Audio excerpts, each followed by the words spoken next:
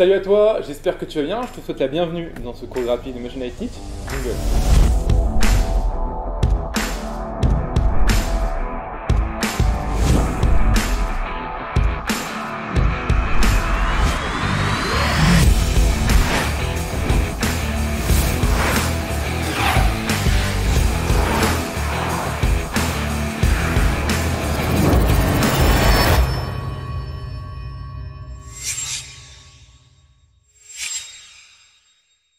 J'espère que tu es prêt parce qu'aujourd'hui on va tout faire péter.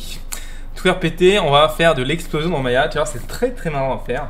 Et euh, c'est assez, facile en plus, donc pourquoi pas, pourquoi s'en priver?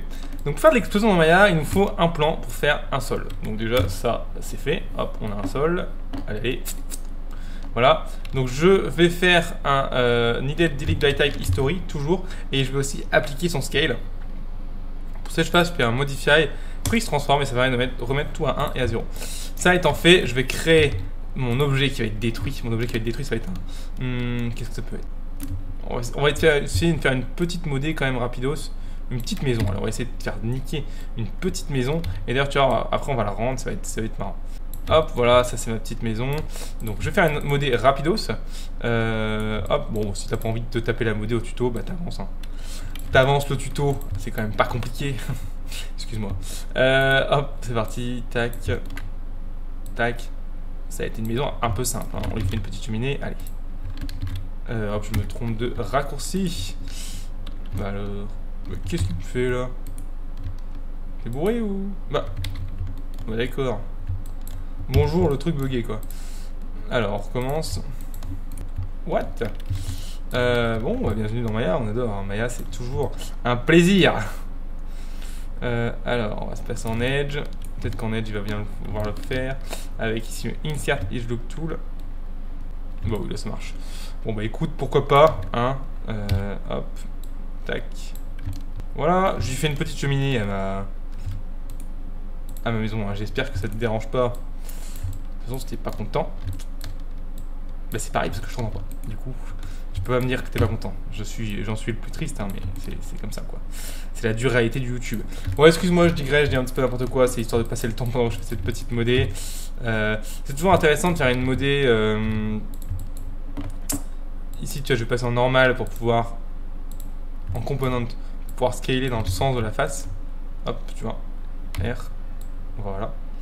Euh, parce que déjà, ça te permet de voir des petits types et, tri- et tricks que j'utilise pour modéliser rapidement.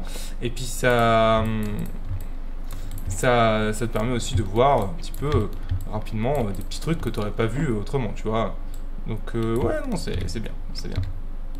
Hop. Tac. Euh, bim bim bim, on va lui faire une porte ici, rapidos. Alors je viens tout modéliser dans un seul et même objet. Donc il y aura plusieurs sous-objets dans l'objet. Par contre, je viens euh, tout modéliser avec un seul et même objet euh, pour me faciliter la vie euh, juste derrière. Euh, c'est pas terrible ça. On va peut-être refaire une petite extrude ici. Voilà. Hop, je vais faire une petite plainte ici en, en face. Donc. Ah, on peut pas. Donc je, vais, je vais faire plusieurs objets puis je les, je les combinerai à la fin tous en même temps. Ce sera pas du tout un souci. Donc. Euh, hop. Un petit cube. Je passe en face. Bon, il est où mon petit cube là Tac. Je passe en face, je disais. Voilà. Donc je vais juste euh, le scaler. Hop, encore une fois, si t'en fous de la modée, euh, n'hésite pas à avancer. hein. Tac, donc là c'est la petite plainte, tu vois, au sol. Ça va amener un peu de réaliste à notre modée. De réalisme plutôt. Excuse-moi. J'arrive plus à parler, je suis devenu bourré. F. Hop, contrôle E. Tac. Contrôle. Tac, tiens, un petit, un petit tip si tu veux augmenter ou diminuer la taille de tes gizmos, c'est le plus ou le moins de ton pavé numérique. Ça peut être intéressant. Contrôle. Tac.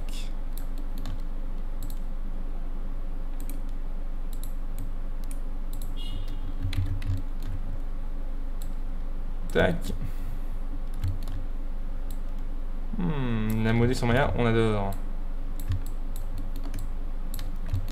Tiens, je vais te présenter un outil assez pratique dans ce genre de situation. J'ai envie de re- relier cette face à une face qui va se retrouver là. Hop, je vais l'extruder. Voilà. Comment faire pour relier ce, morceau de, face avec ça ici En fait, tu tiens un bridge, donc tu sélectionnes les deux et tu fais euh, un bridge, donc shift clic droit et tu vas chercher le mot bridge face ici et hop, tu vois, ça va te faire une face entre les deux. Très très pratique comme outil le bridge. Voilà, euh, donc comme ça on a un petit truc un peu cool. Alors, ici, on se fait une extrude, c'est parti. Hop, ce sera une fenêtre. Tac, on va se faire une petite extrude. Tu commences à me saouler. Alors j'arrête pas de prendre le plan par ailleurs, donc je te cache 5 minutes. Hop. Tac. Histoire d'avoir une espèce de petite revers de fenêtre, tu vois. Voilà, pour le fun. Euh... Non, mais ça me paraît pas mal, hein, cette petite maison. Cette petite maison, donc je vais par contre la... La, la rendre euh, avec une épaisseur, parce que là pour l'instant elle n'a pas d'épaisseur. Donc pour ça, c'est pas très compliqué. Donc euh, je, prends simplement cet objet là, cet objet là déjà une épaisseur donc c'est pas la peine. Et je viens ici en fait euh, en face tout extruder. Donc je sélectionne tout, CTRL SHIFT A. Et je fais une extrude Hop, et là j'utilise bien l'outil de transform et non pas l'outil de, euh, de ma vite. Non, pardon, excuse-moi. Je, craque total là en ce moment, je suis un peu fatigué, excuse-moi. Je n'utilise pas l'outil euh, de move classique, sinon les phases vont pas se déplacer par rapport à leur propre direction. Donc voilà, donne une petite épaisseur à maison, parfait. Maintenant cette maison, je peux la scaler. Hop, voilà. Voilà. Alors, il manque toujours un petit problème, c'est que là, ça a fait un peu du gros caca. C'est normal, parce que bah, en scalant ces faces-là, ça vient souvent faire du truc un peu, un peu chelou, du, slip. Hein. Donc pour ça, euh, souvent, il faut venir déplacer les faces. Voilà. Tu as fait du gros caca, toi Voilà, faut plutôt faire un truc comme ça. Comme ça. Et comme ça. Bref, tu le vois, c'est pas la monnaie du siècle, mais c'est pas très grave. Non, c'est bien celle-là qui doit rentrer ici. Oui. Voilà, c'est pas la monnaie du siècle, il y a des trucs qui se transpercent et tout, mais c'est pas une catastrophe, puisque de toute façon, euh, l'idée c'est de faire de la destruction et pas de faire une modée incroyable. Ah, encore un petit souci. Par contre, c'est important que ton objet ait une épaisseur, sinon euh, tu risques d'avoir des soucis. Donc tu vois, quand je passe en 4, ici du pavé numérique, pour voir à travers mon, mon objet, tu vois bien que ma maison a une épaisseur. Ici, tu vois. Et ça, c'est important. Je fais mesh ici combine pour combiner les deux objets ensemble. Et puis je viens faire un Alt Shift D pour supprimer les, les historiques. J'en profite parce que je l'ai déjà dit dans d'autres tutoriels, mais je le répète juste pour le petit raccourci. 4 pour voir en vue de wireframe, 5 pour voir en vue de solide, 6 pour voir en vue texturée. D'accord? Et 7 pour voir avec les lumières, mais ça marche pas tout. Donc euh, restons en 5. Euh, donc ceci étant fait, nous sommes heureux. Euh, nous avons notre maison qu'on va appeler maison. Maintenant, il va falloir la découper en morceaux pour pouvoir la faire péter. Donc pour ça, on peut recréer notre plan et on va découper notre maison en morceaux pour pouvoir la faire péter. Pour la découper en morceaux, tu passes à Shift clic droit sur le multi-cut et tu t'amuses à faire ça. Tu vois euh, hop, pardon. À tirer de l'extérieur pour faire des, coupures en fait. Et on va dire qu'elle va péter à ce niveau-là, tu vois. Donc hop, voilà, on va essayer de allonger les coupures euh, hop, sur ce voilà. Alors il faut pas lésigner sur le nombre de coupures hein, et en mettre pas mal non plus sur les côtés, ça, marche assez bien euh, parce que sinon tu ta, destruction elle sera, elle sera moins fun quoi. Donc voilà, je te laisse t'amuser à découper ta maison un petit peu comme tu as envie. C'est toujours bien rigolo. Euh, là, la topo, tu t'en doutes, on s'en branle hein, complètement. Donc, c'est un objet qui est beaucoup plus rond qu'une maison. Euh, tu as plutôt intérêt à le faire après avoir smoothé en dur. Donc, ça, c'est pas très intéressant parce que ça, ça coûte un peu cher en, en polygone, en même temps, t'as pas trop le choix, hein, parce que pour, pour supprimer, il faut, bah, il, faut, il faut du poly, quoi. Hein, je veux dire, pour faire de la. Sinon, ça, ça marche pas. Hein. Sans poly, tu peux pas faire grand chose euh, en 3D. Euh, surtout pour de la physique, donc euh, de, la, la, simulation de, destruction, ce genre de choses, il faut du poly. Donc, si tu veux faire ça, il faut d'abord appliquer ton, ton smooth, si je puis dire. Faire le smooth en dur. il commence un petit peu à galérer là. Bah, ça m'a l'air pas mal. Voilà. Hop, donc on a découpé notre maison. Maintenant, je vais prendre toutes les faces ici. Donc, en faisant contrôle shift A toujours. Il commence à me saouler là. Ah Voilà. Toutes les faces. Je vais faire un Alt Shift D euh, sur l'objet pour supprimer son historique déjà. Voilà. Donc toutes les faces. Contrôle, voilà, toutes les faces. Et je vais faire ici dans Mesh ici. Euh, ou c'est dans Edit Mesh peut-être. Sinon c'est un petit bout de temps que je l'ai pas fait ça. Euh, ouais, Mesh ici et détache. Et il faut bien que tu l'aies bien fait. Et pour vérifier si tu l'as bien fait, tu regardes si tes faces, elles se détachent, elles se détachent pas, on adore. Elles se détachent pas du tout, on adore. Alors, Mesh, c'est pas détache du coup. Bah si, c'est détache. Ou extract. Non, extract, ça vire de l'objet, ça rien. Mesh. C'est marrant, pour moi c'était détache. Hein. Extract face, mais j'ai l'impression qu'il fait rien. Détache component. Est-ce que ça marche là? Non, alors je crois qu'il faut peut-être sélectionner tous les vertex, je sais plus, excuse-moi. Hop, euh, détache component. Putain, mais il se fout de la gueule ou? Ah, mais tiens, en plus j'ai oublié de faire un truc. Euh, avant de faire ça, pour augmenter encore un petit peu le nombre de faces, tu peux venir trianguler. Donc tu passes sur ta maison, tu sélectionnes tout, shift clic droit et tu fais triangulate face ici. Bam Voilà, beaucoup mieux. On a beaucoup plus de poly du coup, du coup là. Et tu peux venir maintenant edit delete by type history. Allez, on va essayer de supprimer euh, le tout. Sinon, j'ai une autre solution pour euh, supprimer. Enfin, en gros, l'idée c'est de détacher toutes les faces. Hein. C'est qu'elles puissent euh, vivre leur vie seules. Après, tu voir, on va leur donner une épaisseur, ce sera encore plus marrant. Mais, mais là, il veut pas me les détacher, ce petit con là. Si, pour moi, c'était ça, un détache component. Puis j'ai même pas d'option là. Mais il fait rien du tout, ce petit, ce petit teubé. Alors, c'était en edge, peut-être, je sais plus. Je suis un petit peu perdu. Hop, mesh, détache component. J'ai l'impression qu'il fait rien, c'est dingue ça. Non, il fait rien. Split edge. Ah, ah, ah, ah, ça a marché, oui. Euh, donc de mémoire, il faut le faire plusieurs fois parce que parce qu'il est chiant, Maya. Euh, détache, on va tout sélectionner. On... Oula, ok, c'était dur.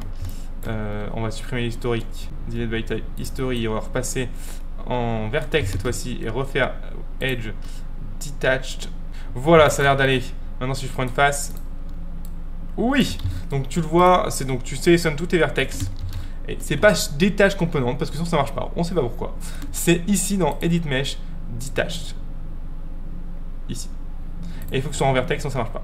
Donc hop, on va dire Edit Delete by Type History. Donc maintenant, on a nos composants qui sont euh, détachés. Le problème, c'est qu'ils n'ont aucune épaisseur, ça n'a pas trop de sens.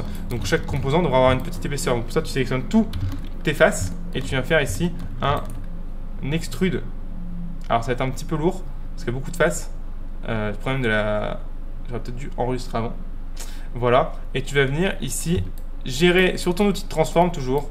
Très important. Hein, ton outil de transform. L'épaisseur de ta face un petit peu à l'intérieur. S'il crache pas. Ok, c'était à l'extérieur, autant pour moi. Euh, alors je te conseille de jouer plutôt avec des valeurs, ce sera plus simple ici. Par exemple, essayer de mettre euh, 0,05 par exemple, voir un petit peu ce que ça fait. Quand tu travailles avec des valeurs, ça t'évite de galérer à, bouger ton gizmo.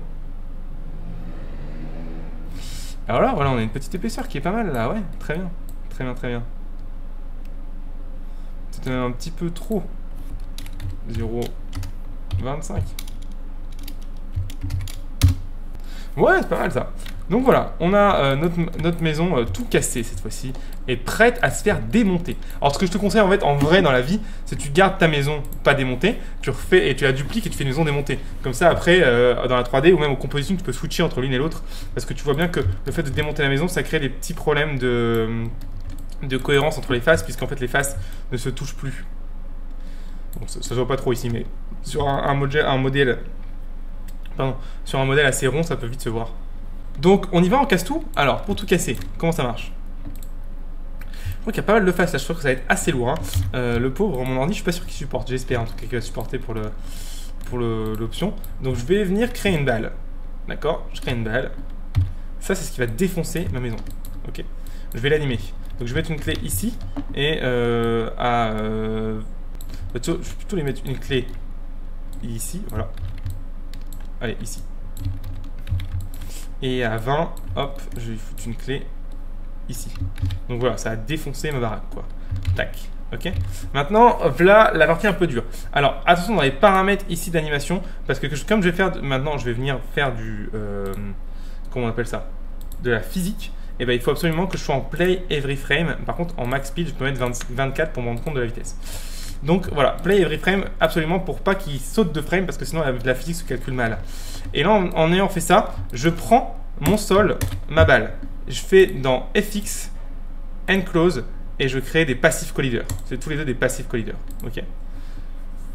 Je prends, donc là pour l'instant, rien ne se passe finalement, parce que c'est normal, il faut euh, faire des trucs là-dessus. Euh, alors par contre mon sol, je vais checker rapidement, je vais le mettre un petit peu plus bas que la maison, pour pas qu'il se transperce dans la maison, risque de passer à travers, voilà.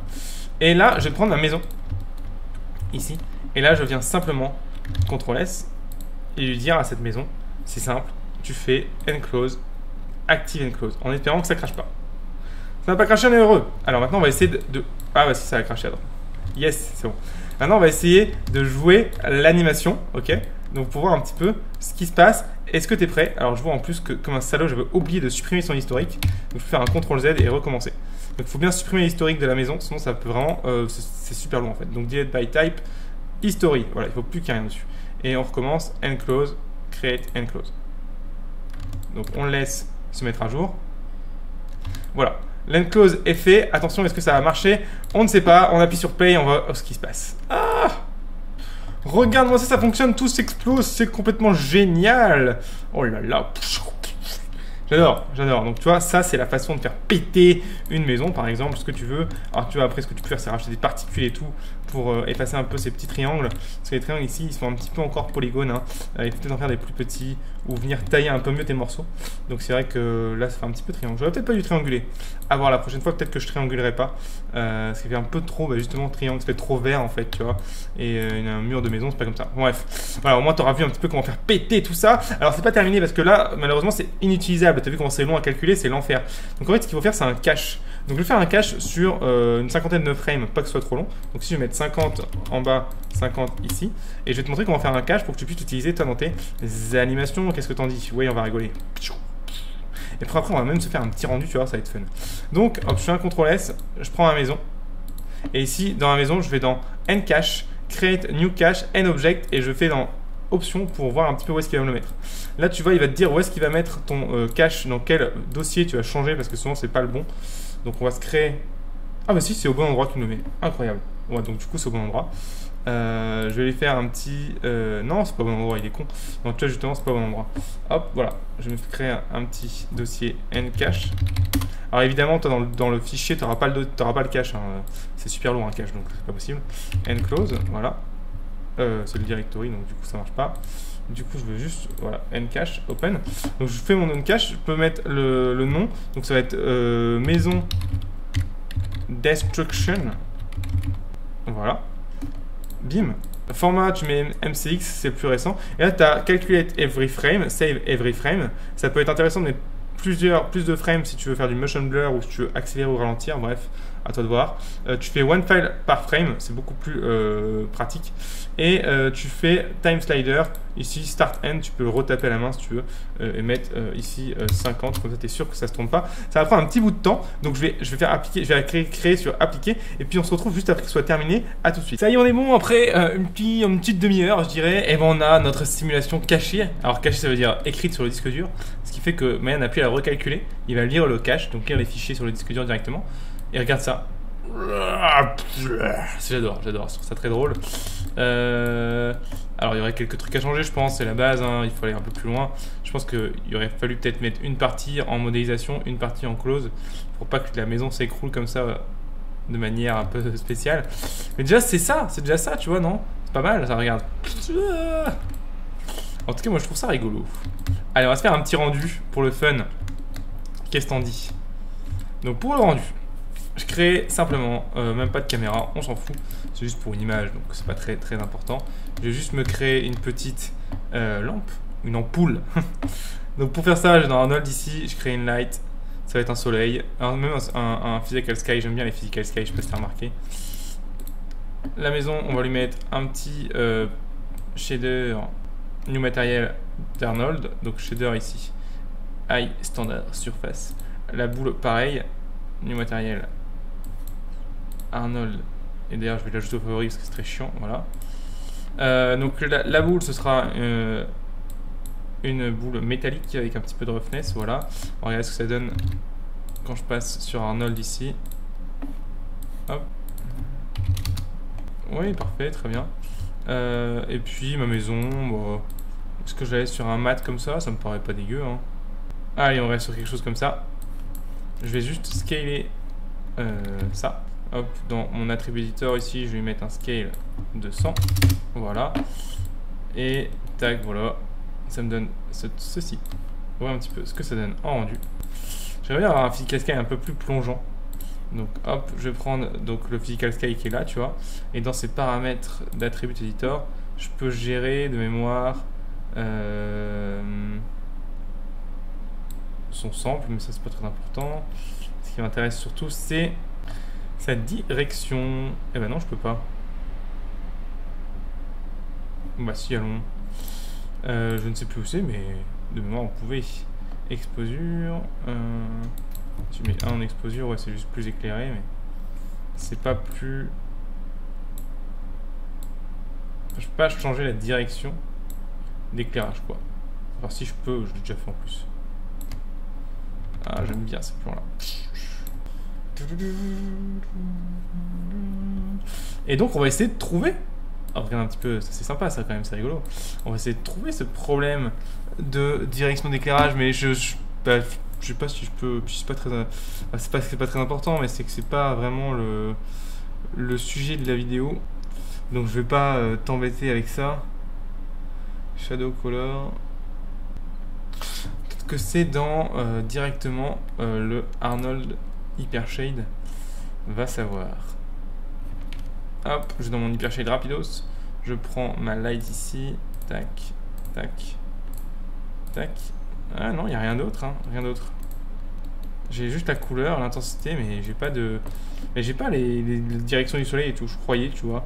Je croyais. Et en fait, non. Euh, bon, il y a un truc qui doit certainement m'échapper. Mais bon, de toute façon, c'est pas l'outil du tuto. Donc on va pas regarder ça aujourd'hui si tu as la réponse en commentaire, si tu sais changer la direction du soleil avec un skydome, euh, tu dois savoir, parce que ça doit exister, je l'ai déjà fait en plus je crois, mais bon, je ne sais plus c'est. Pas grave, nous on a ce rendu là, moi j'aime beaucoup, d'accord, je trouve ça très rigolo. Donc je vais faire une petite pause, euh, pas une petite pause, juste faire un rendu en fait. Donc je vais prendre mes paramètres de rendu ici, je vais venir me mettre en euh, carré finalement, puisque... Euh, 1080 par 1080. Moi, ça m'arrange. Comme ça, tu auras l'image aussi dans le truc. Bim. Donc, si je fais un rendu, en voyant un petit peu ce que ça donne. Et voilà. Alors, je sais pas pourquoi il veut pas m'afficher mais mes petits derniers carrés là. Il doit craquer un peu. C'est pas très grave. Euh, donc, tu as l'image ici, tu vois. Hop, on va passer sur un gamma 2.2. Voilà, tac. Toi, logiquement, t'as pas à le faire ça. Hein. Euh, et voilà, moi je trouve ça rigolo, j'aime bien. Cette maison qui explose là, c'est très, très, très, très, très, marrant. Euh, donc voilà. C'est euh, la fin de ce petit cours. Je vais juste sauver l'image. Moi, dans, mon cas, hop, bien appliquer les transformes.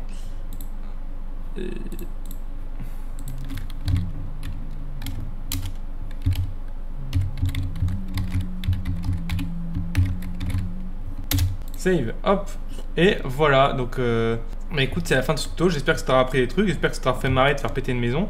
Je t'invite à essayer d'aller un petit peu plus loin en en, mettant des morceaux euh, de la maison qui soient animés à la main et d'autres morceaux animés en une close pour pouvoir avoir plus de réalisme.